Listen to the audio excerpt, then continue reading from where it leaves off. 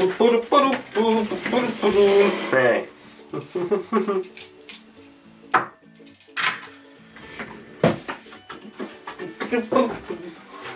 Pero... Oliver,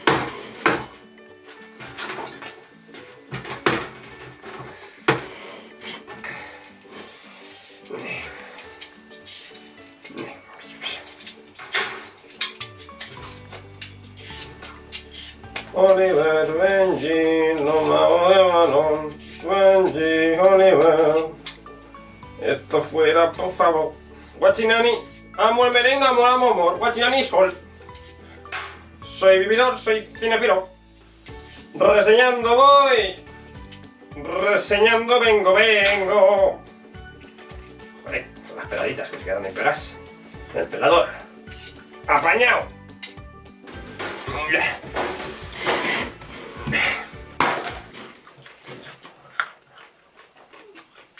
Hoy te voy a reseñar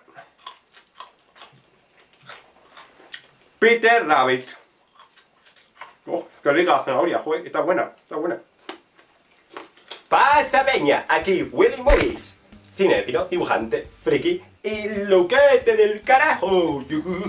Bien, tras un huevaco de hermosas y mierdosas eh, peliculillas infantiles que mezclan animación CGI modernilla por ordenador, por computadora y personajes y acción real, en la que frecuentemente o habitualmente se suelen adaptar libros infantiles, personajes de obras literarias para los más pequeños o series animadas ochenteras y, y noventeras. Tras esos oh tan eh, preciosas y cagonas películas de mierda de animación CGI con acción real, la cual, cual más vergonzosa y penosa, tras esas magnas obras, Hollywood por fin habrá cambiado el chip y se, se habrá dado cuenta que esas películas no, no, no interesan ya mucho, ¿no?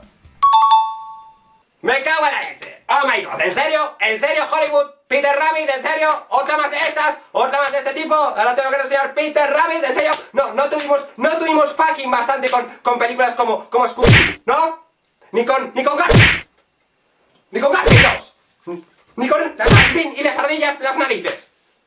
Ni, ni, ni, ni con Manuque, ni con el oso Yogi, ¿eh? Ni siquiera con el putísimo, putísimo pájaro loco. No. Ahora otra más de estas, en serio, de verdad, tan faltos de ideas estáis. Peter Rabbit, aquí la tenéis. Ah, que empiece la review. Ugh. Se nota que no soy muy fan de este tipo de películas, ¿eh? Ah, venga, dale a la reseña. Aquí, aquí tenemos esta Peter Rabbit. Esta adaptación en versión CGI con actores de carne y hueso de los libros infantiles ingleses de la autora Beatrix Potter.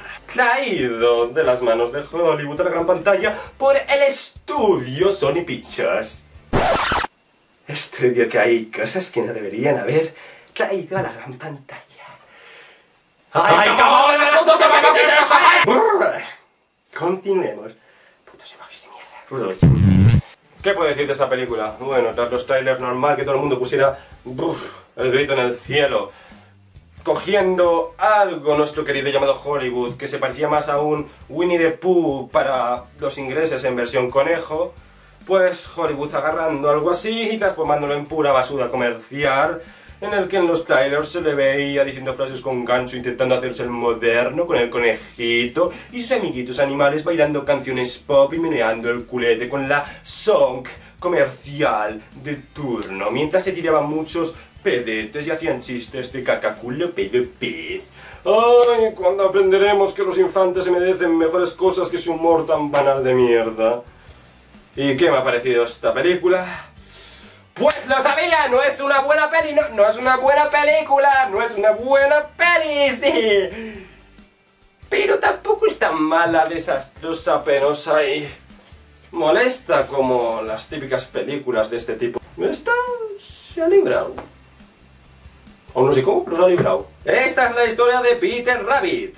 Un conejito rebelde, travieso y aventurero que viste una chaqueta azul y no lleva pantalones. Sí, información muy relevante, pero bueno, es su seño de identidad.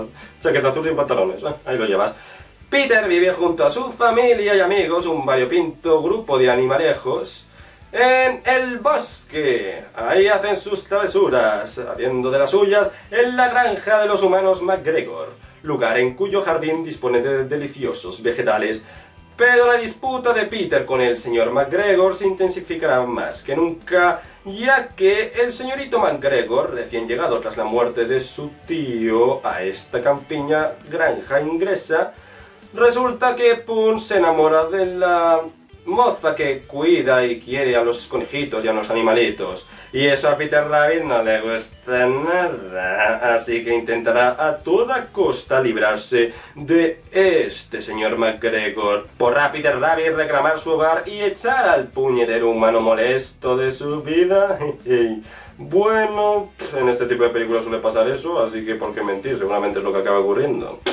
Bueno, puntos positivos a destacar de la película, antes de meternos en el medio de los negativos. Pues la animación, la verdad, está bastante currada. Yo diría que... Además, hasta es negativamente lo currada que está. Es hasta insultantemente buena, porque, joder, la animación es demasiado cojonuda para una película así. Los conejos parecen putos conejos de verdad. No es coño, o sea, son uno de los conejos más realistas que he visto en una película. Vale, sí, tienen sus efectillos ahí que se nota que es una animación por computadora, por ordenador, pero los conejos son bastante realistas, están bastante bien hechos, están muy bien animados en sus gestos, en sus expresiones. Eh, sí, está, está, muy bien la animación. No es tampoco oh, espectacular, ni tiene grandes escenas grandilocuentes y épicas de, de, lucimiento de, animación. Y, no, pero, oye, en la animación ahí, mira, se nota que los animadores le han puesto ganas, le han puesto nada, ganas y ahí se lo han currado del todo, en el pelaje, en los movimientos, en las expresiones, en las sombras. En la animación, en la animación Hollywood nunca suele fallar y este ha sido un caso bastante sorpresivo en según qué puntos, ya digo, en cuanto a una muy, muy buena y decente animación. La música, la música, mira, se han librado... Eh, han metido alguna canción pop de turno, sí, pero no han metido tantas como yo pensaba también cuentan la, banda sonora en sí de la película, no son las canciones pop de, de 3 al cuarto de turno. ¿eh? Eso está muy bien. Algunos personajes me han caído bien.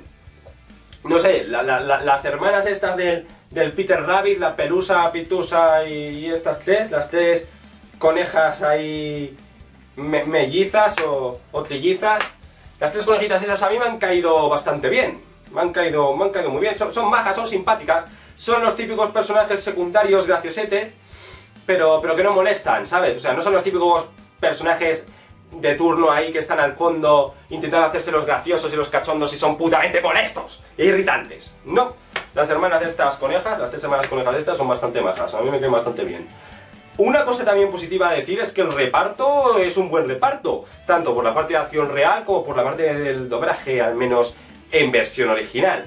Por ejemplo, tienen a, a Daisy Ridley de Star Wars, de las últimas de Star Wars, a Margot Robbie de, del logo de Wall Street en el reparto vocal de, de, Estados Unidos tiene un reparto muy muy bueno, muy competente, lleno de, campanillas, de celebrities, de estrellas, pero que aún así cumplen su papel. Y en la parte de acción real, ya digo, también cumplen los actores. Rosa Byrne hace de, la chica, bien, está simpática, un poco exagerada, también porque su personaje es un poco así. De Don Hal Grayson, no sé si lo pronuncio bien, bueno, es el General Hoods de las de Star Wars 7 y 8. Eh, de Donald Herzog ya, ya, ya hablaré, ya hablaré.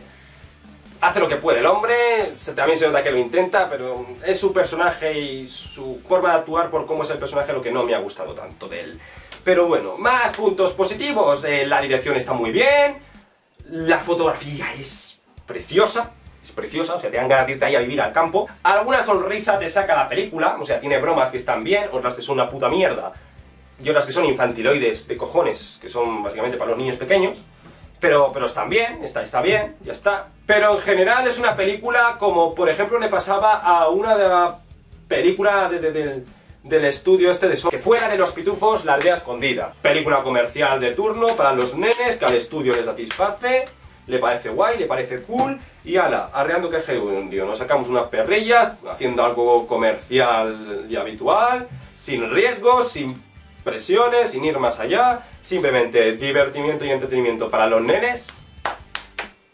Y va que chuta.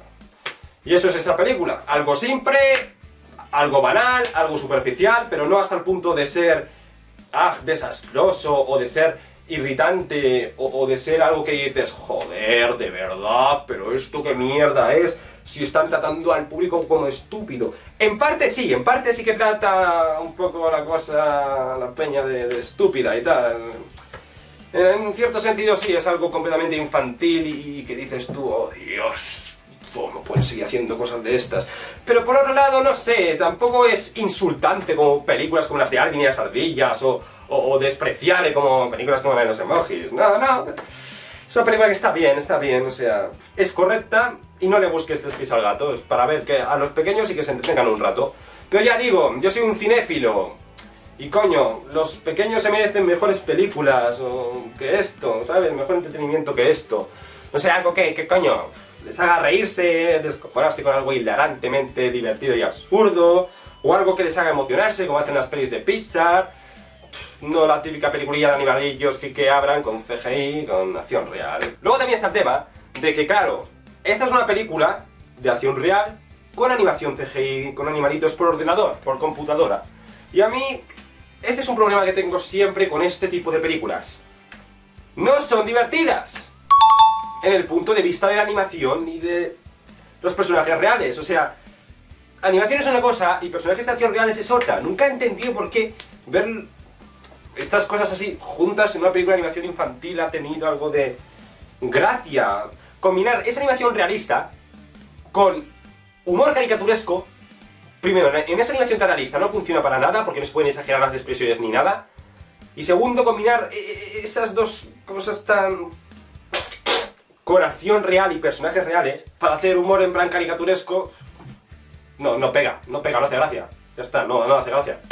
O sea, en lo que es golpes, slapsticks y tal, no, no hace gracia. Lo intentan exagerar un poco, pero me sigue sin hacer gracia.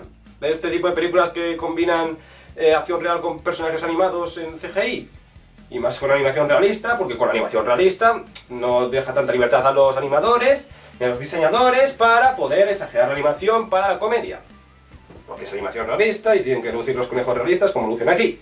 Y luego si eso le juntas con acción real, pues... pues y luego también está el tema de que, no sé, no he logrado empatizar con el protagonista conejo Peter Rabbit para nada. Para nada he logrado empatizar con él. A veces tan, es tan rebelde y es tan chulo, va tan de guay, va tan de cool y va tan de, y va tan de, de travieso que, que, que es gilipollas.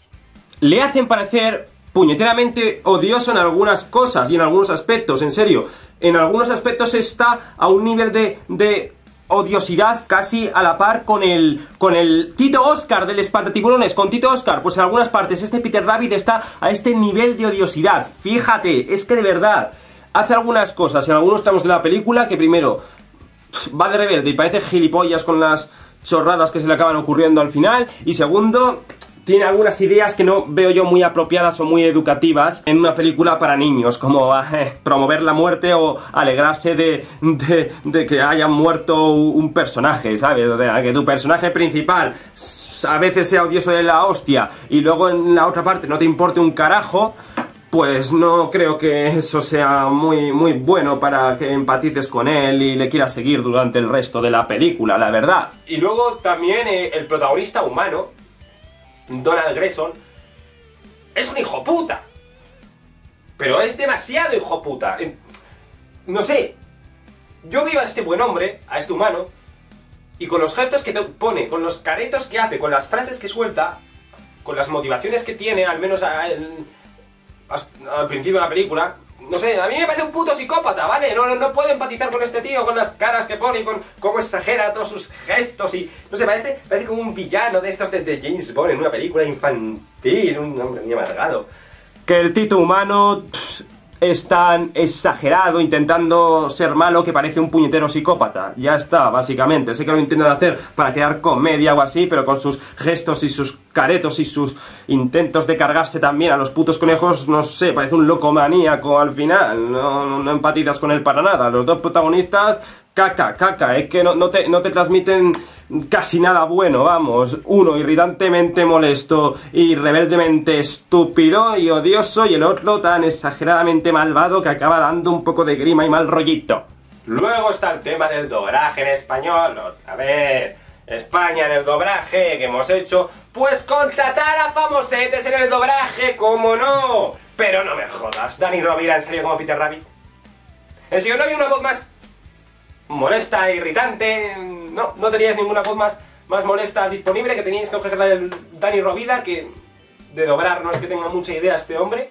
Como cómico, eh, otra cosa, eso ya es otra cosa, eso ya es otra mierda, pero como doblador, en esta película le han cogido para doblar al maldito y puñetero protagonista, ¿sabes? Al héroe que tenemos que seguir, ¿vale? Y bastante tenemos con que no empatizamos con él lo suficiente como para que encima nos pongan la voz chillona de Dani Rovira, sí. Lo siento, es su voz, la voz que pone... Oh, se nota demasiado que no es doblador profesional, ¿vale?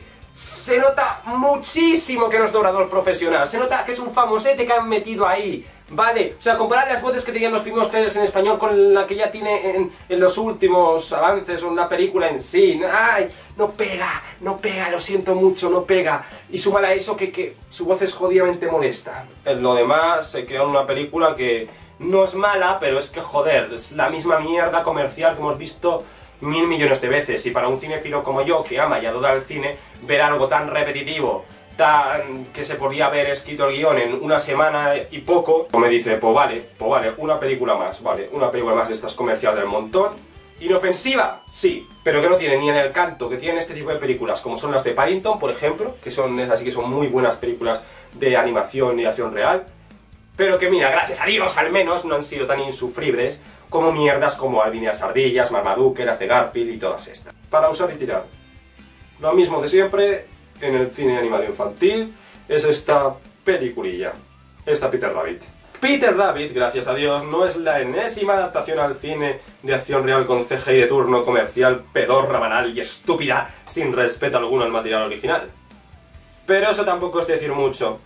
Aparte de una preciosa puesta en escena, de una correcta dirección, de alguna cosa escena adorable y hasta entrañable, y de una animación notable para los nuevos protagonistas, todo lo demás es un equivalente a una de las anteriores películas del estudio Sony Animation del año pasado. Los Pitufos, la aldea escondida. Esta, Peter Rabbit, juega en ese mismo nivel. Es una película infantil más del montón. No es insultante, pero tampoco es impecable. No es irritante, pero tampoco es desperdillante. No es despreciable, pero tampoco es brillante. Es prácticamente un proyecto de estudio. El proyecto que la productora de turno quiere. Sencillo, modesto, de humor blanco, atrayente para los más pequeños de la casa y sin pretensiones grandilocuentes. Nada más sirve para entretenimiento infantil y poco más. No uno de calidad, ya lo he dicho, porque además de ser la tópica y típica película infantil, también tiene fallos comunes de peli infantil de esta índole, como que la animación, al ser tan realista en los conejos, no funciona bien para expresar humor slapstick, su protagonista conejo a veces es tan rebelde que parece tonto, su villano humano no demuestra ninguna simpatía o afecto, sino que con sus caretos perversamente exagerados recuerda más a un psicópata que a un tipo el cual nos debe caer bien al final de la película, y una historia rutinaria de tomo y lomo que cuando se hace la cool y la moderna no funciona para nada bien, aunque sin dar vergüenza ajena no tiene mucha gracia. Eso sí, al menos no provoca instintos homicidas en su visionado como si hacen otras películas Made in Sony. Sí, sí, hablo de los emojis de los huevos, sí, sí. No es la peor película que combina acción real con personajes en CGI provenientes de libros o caricaturas. Jesus, ni siquiera es la peor película animada de este 2018, ese puesto fijo que estará ocupado por Sherlock Gnomes. Pero tampoco es una película infantil que saque de ti a tu niño interior como si hacen otros estudios animados como Pixar o Laika. Aun con eso, para disfrutar de un buen conejo carismático y animado, yo creo que pasaréis mejor rato con Tito Bugs Bunny que con este resultón pero a la vez mediocre y mundano, Peter Rabbit. Si os ha gustado el vídeo, lo típico, dale like, compártelo, suscríbete, pero siempre con poder cinéfilo. Vámonos, vámonos, que... ¡Oh, mi poder cinéfilo! ¡Chao, peña! Aquí huele movies, cinéfilo, dibujate friki y luquete del carajo. ¡Ya nos veremos, cinéfilos!